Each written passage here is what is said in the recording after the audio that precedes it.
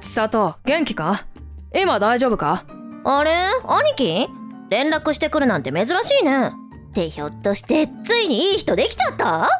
うん実は結婚します。なんちってなもいるわけ？って？え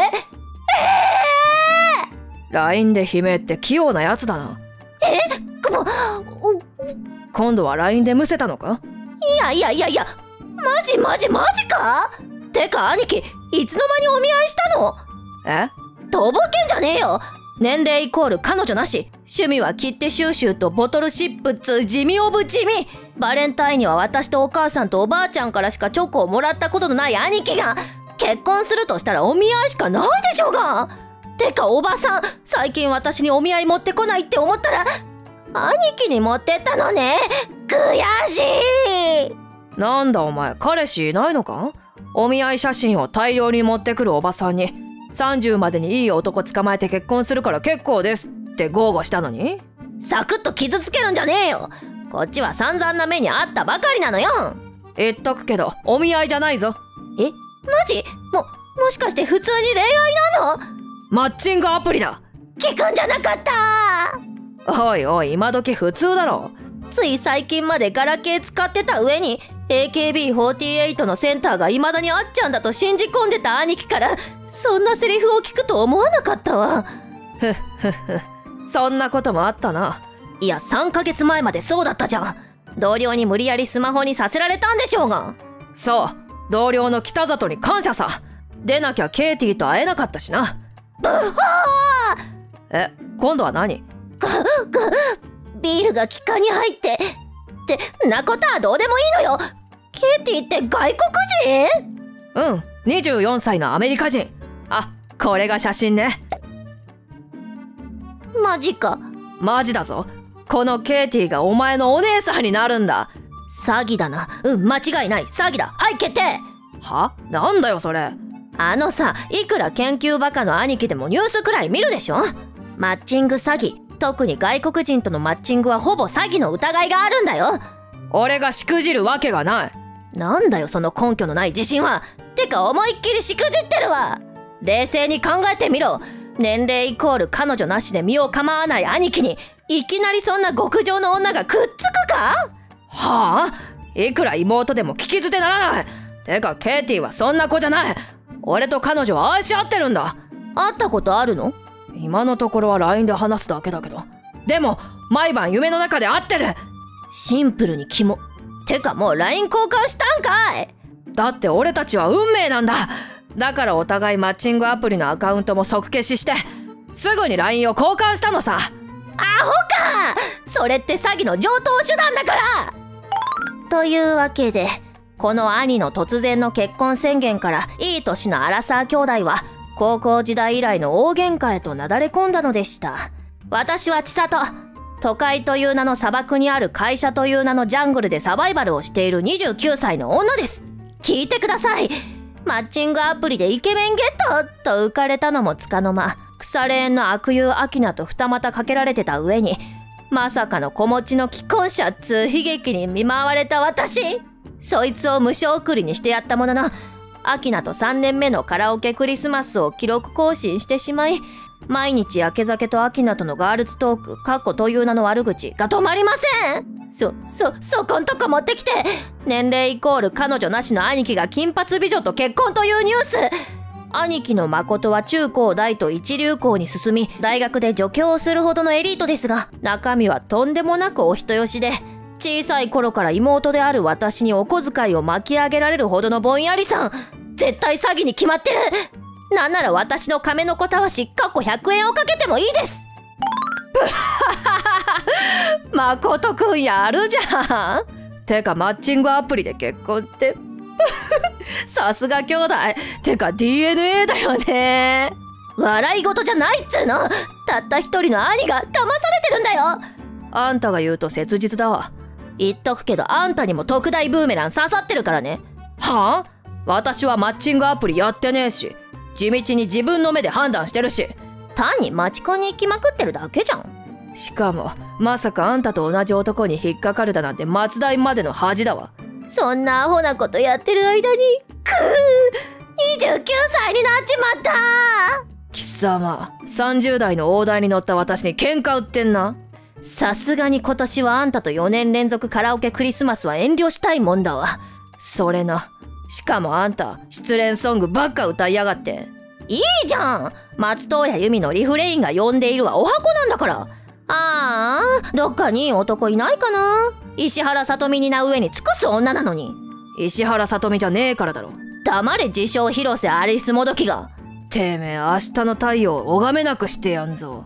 空手二段の私の腕前は知ってるよな。それならあんたの大学時代の黒歴史を暴露すんぞってそんなくだらねえ冗談聞いてる場合じゃねえんだわ。だね。再現がなくなるよね。兄貴さん頭はいいけどずっと研究一筋でお人よしでさ。だから騙されて傷つく姿見たくないんだよね。私もあの事件でそこそこ傷ついたしね。千里あんた？あとさ兄貴今助教なんだけど推薦を受けて准教授になるかもしれないんだよね。え？だからこんな時期に結婚詐欺なんかにあったらスキャンダルになって昇進話がパーになるじゃん。なことになってみ？我が家の恥だよ恥。兄貴には何が何でも出世してもらわな。一瞬でも感動した私の気持ちを返せやおい。しかししかしととんでもねえ展開になったのです。とその前に皆様にご注意が。次のトークは全て英語ですがより分かりやすくご理解いただくために全て日本語に翻訳しております。やあケイティマイスイートハートはーい誠。ずーっと寂しかった。俺も一瞬たりとも君と離れているなんて耐えられないよ。日本とアメリカ。なんて遠いんだ。誠あなたにお話ししなきゃいけないことがあるの？実は母が病気で倒れたの。え？君のお母さんが？だけど難病ですごくお金がかかるって。そのいくらくらい？だいたい2万ドルなの。2万ドル？日本円だと270万円？母はシングルマザーで私を育ててくれたの。私できることなら何でもするわ。だから今日でさよならなの。どういうこと？あなたには迷惑はかけたくない。ケイティそんなこと言うなよ！金は僕が払う！誠そんなのダメよ。俺たちは結ばれる運命なんだ。だから払わせて！誠愛してるわ。俺も愛してるよ。ここからは私とクソ兄貴の会話になります。もちろん日本語です。で？というわけでお前のへそくりを貸してほしい。アホか。何がというわけでだよ。てか貸さねえよ。頼む。ケイティの母親が難病なんだ。ああ？こってこてな手に引っかかりやがって。彼女はそんな人じゃない。お前と違って優しい繊細な人なんだ。どういう意味よ頼む。俺300万送金したんだけど手術代がもっとかかりそうなんだ。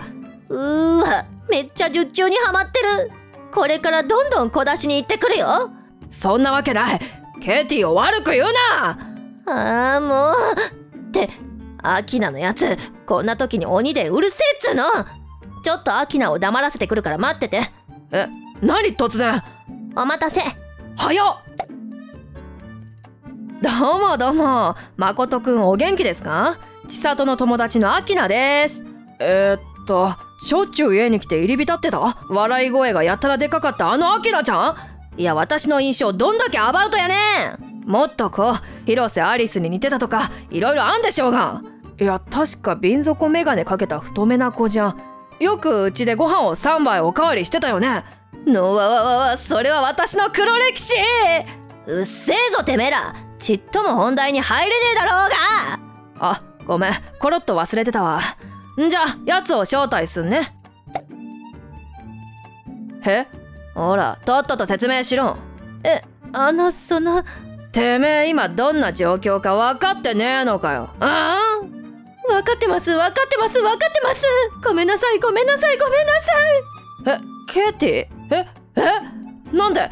えでもこのアイコンはケイティてかなんで日本語？おっと兄貴が大混乱だ。誠すまない。俺だ。俺俺。俺俺詐欺みたいだな。北里なんだ。は？は？あ北里って同期で同僚のあの北里？昨日食堂で俺がレバニラ定食食べてた横でこじゃれたカッペリーニを食べてた。ああの北里？そそうなんだ。嘘嘘嘘嘘嘘残念ながら事実です。ほら秋の説明。はいよ。あの誠くんサクッと説明するね。実は私マチコンに行ってさ。マチコンって？あんたも懲りねえな。うっさい。って話それたわ。そしたらそこでこのアホに出会って。アホって？俺です。顔もまあまあだったし大学の助教でおまけにボンボンって言うんで。まあグイグイ言っちゃったわけなんだけど。いつもの手だね黙れっつってんだろ。しばくぞこら。こいつスマホ2台持ちしててさしょっちゅういじってたわけよ。そうだよな。あ？はい。そんでそんでそこんとこ詳しく。さてはこいつ浮気しやがったなって思って。二股には敏感だもんね。そう。それでこいつがトイレ行ってる間に見てやったらさ開けてびっくり玉手箱。外国人の女になりすまして男引っ掛けてたと。一瞬頭が真っ白よこいつにそんな変態な趣味があってね。んであれ？この相手の誠ってもしかして最近外国人の彼女に夢中になってるっつ千里の兄さんと同じ名前じゃね？ってコナン君ばりの推理力が働いたってわけよ。どうや？なんつうご都合主義な展開だ。英語全然わかんなかったけど絶対お金せびってるに決まってる。大体合ってるとこがすごいな。いやさなんでことごとくあんたと縁があるのかお祓いでもした方がいいんかね？それな。ままさか今年もあんたとクリスマスカラオケ？それどころじゃねえわ。まさか一生一緒とか？やめろ！あの俺そろそろ失礼しても。いいわけねえだろうが！兄貴から300万も取りやがって！兄貴？兄貴？生きてる！いや死にかけ3秒前。俺のケイティがままさかの北里。うわほらこの落とし前どうつけてくれんのよ。兄貴はな兄貴はな年齢イコール彼女なしで女の手も握ったことがねえんだぞ。やめてくれ恥ずかしい。ついでによくも私の時間を無駄にしやがったな。虚勢されても文句は言えねえよな。あすみませんすみませんすみません。お願い踏まないでください。ほらほらほら。いやちょっと待ってあんたら一緒に LINE やりながら痛めつけてるってこと？今私の足の下で這いつくばってるわ。ちょそれ見たい？北里お前なんでこんなことを？次の准教授になるにはお前が邪魔だったんだ！え？どんなに努力してもお前の才能にはかなわない。俺の方が顔も良くて金もあるのにそんなの耐えられない！聞けば聞くほど痛々しいな。だから女になりすまして金を巻き上げお前の精神を揺さぶってやろうと。アホか。じゃあ俺にマッチングアプリを勧めたのは？お前はまんまと引っかかったよ。さすが年齢イコール彼女なし。おい貴様私の兄貴を愚弄したな。兄貴を痛めつけていいのは私だけなんだよ。ひい貴様は今私の足の下ってことを忘れるな。てかどんな体勢で LINE してんのそいつ。おいてめえはい女王様もっと踏んでください。変な扉を開いとる。まずは誠くんに300万返しな。ほらはよ。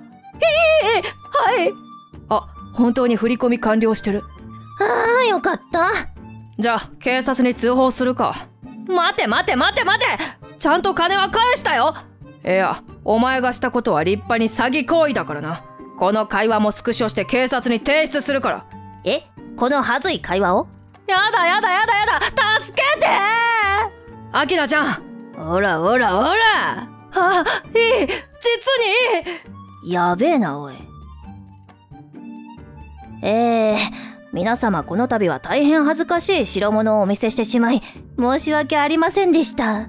あの後警察を呼んでアキナの家に行ってもらったのですが警官たちはアキナに踏んづけられながら泣き笑いをしているケイティこと北里を見て思いっきりドン引きし兄貴が提出した LINE のスクショを見て肩を震わせて笑っていました。もちろん北里はそのまま連行。兄貴も私もお金を無駄にせずに済みました。そうそう兄貴准教授になったんですよ。かなり心に痛手を被ったけどね。結局兄弟揃ってシングル。アキナの方もマチコンはことごとく玉砕しどうやらこちらもシングルが決定みたいです。ざまあみろあーゲラゲラゲラってうわー。う今年は兄貴を交えて超 VIP 用のカラオケでゴージャスクリスマスカラオケになだれ込む予定です。もちろん兄貴のおごりでね。最後まで見ていただいてありがとうございました。チャンネル登録高評価をお願いします。それでは次回の動画でまたお会いしましょう。